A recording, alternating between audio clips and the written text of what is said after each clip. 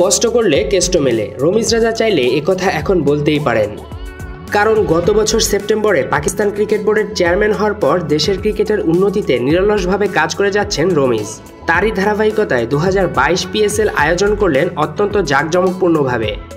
সপ্তম পিএসএলে আগের সব মৌসুমের চেয়ে রেকর্ড পরিমাণ অর্থ লাভ হয়েছে দাবি করছেন পিসিবির বর্তমান চেয়ারম্যান। সোমবার সংবাদ সম্মেলনে এক বিবৃতিতে রমিজ বলেছেন, এবারের পিএসএলে একাত্তর শতাংশ বেশি লাভ হয়েছে।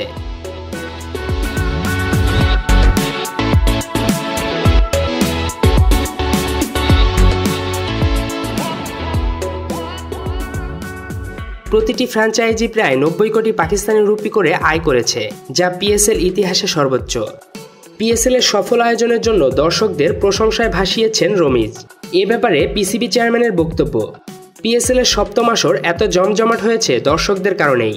এটা মেনে নিতেই হবে। সত্যি বলতে, পেশাগত ক্রিকেট জীবনে বিশেষ করে লাহোরে এত উজ্জীবিত ক্রিকেট পাগল দর্শক আমার চোখে পড়েনি। পিসিবির পক্ষ থেকে আমি ক্রিকেট ভক্তদের ধন্যবাদ জানাই। যারা শুধুমাত্র পিএসএল সফল হতেই ভূমিকা রাখেননি।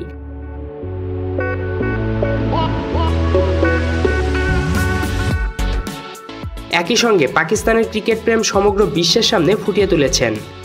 রমিজ ধন্যবাদ জানিয়েছেন সমস্ত স্পন্সর কোম্পানি, খেলোয়াড়, ফ্রাঞ্চাইজি, মেডিকেল টিম, আইন শৃঙ্খলা বাহিনী, প্রশাসন, ধারাভাষ্যকার, গ্রাউন্ড স্টাফদেরও। যাদের নিরলস প্রচেষ্টায় পিএসএল এত সফলভাবে আয়োজিত হয়েছে বলে মনে করছেন পিসিবি চেয়ারম্যান।